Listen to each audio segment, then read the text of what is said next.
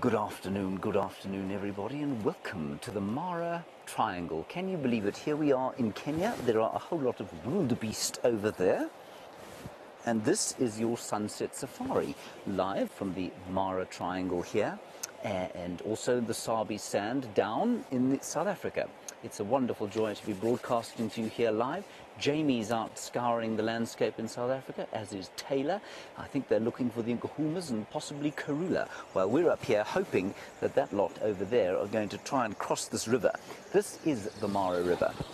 Now, before we get into the nuts and bolts of this amazing sighting that we're having here, let me just tell you a little bit about this show. For the next five days, between the 20th and 24th, obviously, we are going to be broadcasting from here and in South Africa, but for seven and a half hours continuously. So we'll be going from now until 10.30 Central African time.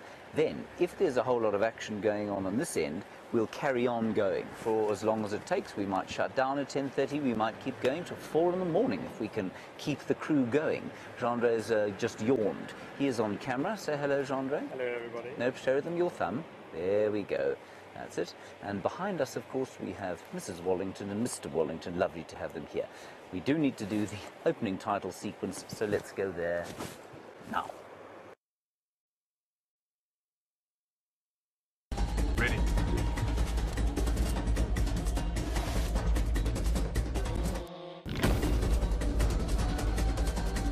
Standing by.